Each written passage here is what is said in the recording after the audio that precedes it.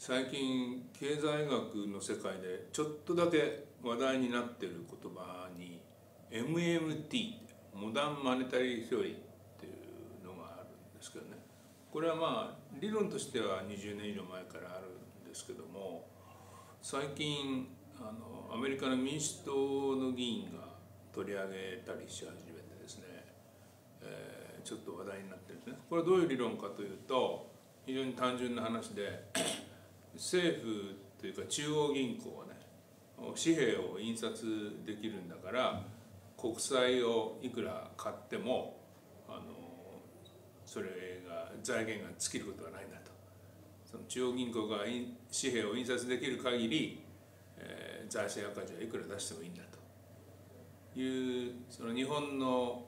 まあ、ネット上の一部の人が言ってる財政ばらまきの理論なんですね。こんなのは昔はアホみたいなもんと思われてたわけだけど最近民主党の議員アメリカの民主党の議員でねそういうことをこう言い始める人が出てきてあの前に大統領選挙の、まあ、途中までいいとこ行ったあのバーニー・サンダースという彼がこの MMT の支持者なんですね。で彼を支持してる民主党の左派の人たちがこういうその財源心配しなくていいから財政赤字をもっと大きくいわゆる大きな政府にしていいんだという考え方なんですね。でこれを最近ラリー・サマーっていうねあの元の財務長官今ハーバー大学の先生ですけど彼が取り上げたりしてでアメリカでは結構何人かの人がこの MMT を真面目に取り上げ始めてるんですね。それはなぜかというとあのこういう財政ばらまき理論っていうのはその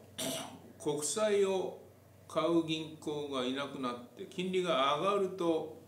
どんどん財政赤字がこう膨らんでいくというリスクがあるわけですね日本でもそのリスクがあるわけですけども日本でもアメリカでも実質金利はずっとゼロかあるいはマイナスになってるわけですよ。日本はも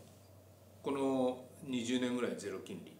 ですけどアメリカも最近は実質金利はほぼゼロになってきたんですね。で FRB が金利上げるって言ったけどそれも多分やめになりそうでこのゼロ金利のままずっと世界的にこういきそうなんですねヨーロッパもそういう感じなそうするとね金利がゼロ金利のままだとすると財政赤字をどんどん膨らまして国債をどんどん発行してもそれを中央銀行が買ってる限り金利が上がってハイパーインフレになるとかねそういう心配はないわけ。つまりゼロ金利がずっと続く限り MMT は正しいんですよ。これはサマーズも認めてるんですね。でこれはあの僕僕も含めてちょっと前までねアホみたいな高等向けな理論だってみんな思ってたわけだけどでもねゼロ金利ってずっと続いてるわけですよ。でこれがいつかドンと上がるってみんな危ない危ないって言ってるんだけど全然上がらない。それどころかどんどん下がってきてマイナス金利になってでいろいろもう銀行も非常に経営が悪化してきてると。金利が下がって困ってる時に金利が上がったら大変だっていうね。そういうことを心配するのって本当に正しいんだろうか。逆に言うとこのまま どんどん紙幣を印刷して国債を買うっていうね今日銀やってるような政策をどんどん続けて将来世代に ツケを回す、まあ、いわゆるネズミ講ですね。それが今は可能なんですよね。でこれって本当にいつまで可能なのかと。いう議論が実はちょっと真面目に起きてるんですね。でこれゼロ金利が永遠に続くんだったらネズミ講は永遠に可能なんですよ。これは明らかなんだけどじゃあいずれゼロ金利がこう100年後に終わるとしたらこれは多分問題ないですね。じゃあ10年後に終わるとしたらどうなんだろうと。で10年後に終わるとすればこれはねその財政ばらまきやったら危ないんだけども逆に言うと上がりそうになったら財政ばらまきをやめればいいわけです。というわけでね意外とこの問題は真面目に考えるとそれほどバカにした問題でもなくてそれから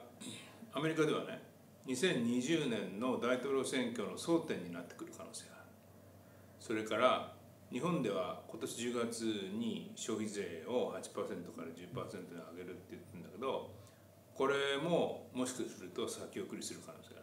る。でこれはねそのそんなことしたら財政が悪化するっていうふうにもう必ず言う僕も含めてね言ってたわけだけど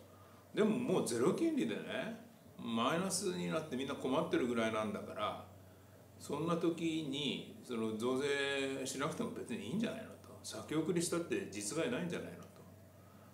いう議論がかなり少なくとも理屈の上ではリアリティを帯びてきたのではないか。これは真面目に考える価値はあると思います。